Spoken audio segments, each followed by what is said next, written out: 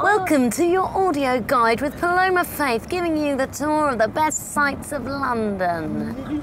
And there's some buildings, some cars and that. There's a bit of water Thames.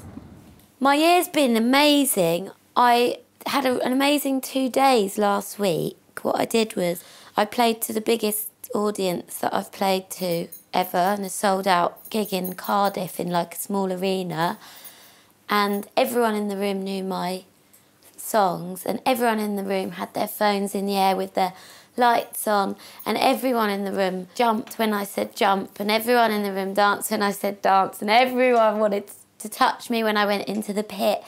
And it's the first time that I have ever felt truly successful. And the light cascades on the side of the buildings as she delivers the finest inside information of London. And then the next day after that, I opened the BAFTAs and I sang the opening song for the BAFTAs. And then, like, Samuel L. Jackson, George Clooney, Helena Bonham Carter, Marianne Cotillard, Christoph Waltz, Tim Roth, Quentin Tarantino. There were just so many, and they were literally just walking across the room to go, Oh, we think you're amazing. Or do you, want, do you want to read it out? I've had an amazingly successful year with my album. I've I went double platinum on my debut and I'm about to go double platinum on my second album. But I am the type of person who never takes anything for granted. So I'm already now panicking because it's coming to the end of the campaign. So now I'm like, okay, so if my third album, which I haven't even started yet, flops, what am I going to do? I'm thinking of things like the cruise ships. I got my form filled out for Sainsbury's bakery counter. And I am a trained cocktail waitress, so I can always fall back on bar work.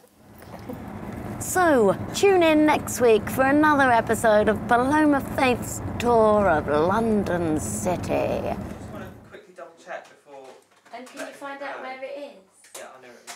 My friend Geoff Lloyd texted me today, who works for Absolute Radio, and he said, um, it, just know that if you don't win tonight, it means you're a failure.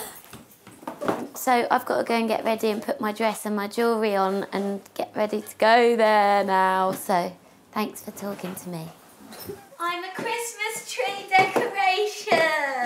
Yeah, my favourite Brits moment was probably only recently when two Brits ago, it was the first time Adele had sung any of the new songs from her album, and she sung Someone Like You, and I was there, and the whole room was just like astonished because it was the first time that the Brits had ever done anything that stripped back and that kind of humble and vulnerable.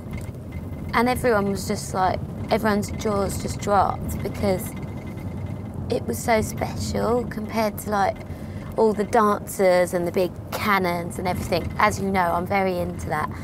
But for Adele to do that, it was so pure. It was just amazing. I'm I'm excited about the red carpet. Who I'm going to see on it? Like, I like to muck around on the red carpet, as everyone knows, and jump into other people's interviews and embarrass them. Jake Bugg is on my hit list because he, he always finds what I do really funny, but he doesn't know like how to react. So he sort of does this like. My mum's text. She's saying, "You there yet? Nearly there. What colour dress? You need coat for red carpet. It's freezing." Then my aunt, who's my mum's sister, sitting next to your mum and aunt's having a laugh and rooting for you. Lots of love.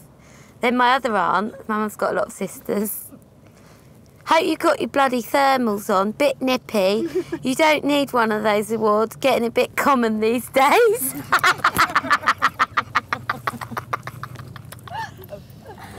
It's really hot now. Should we turn it off now, Paloma? Whatever. Is it not boiling?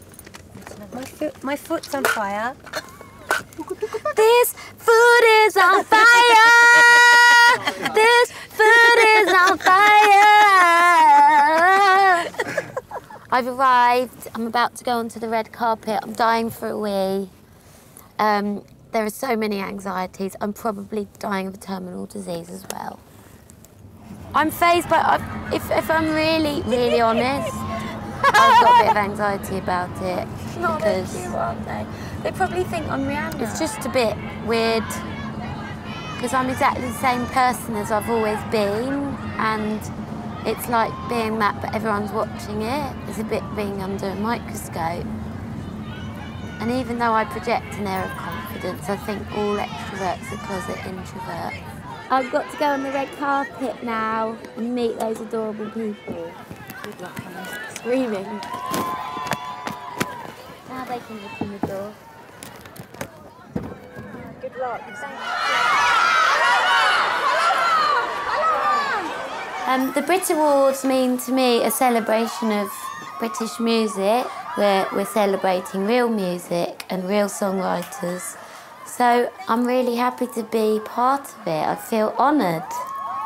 So, how was the day today getting ready for the Brits? It was amazing, but added stress with all the behind the scenes crew from the Brits that were filming in my house. Thank you, Brits.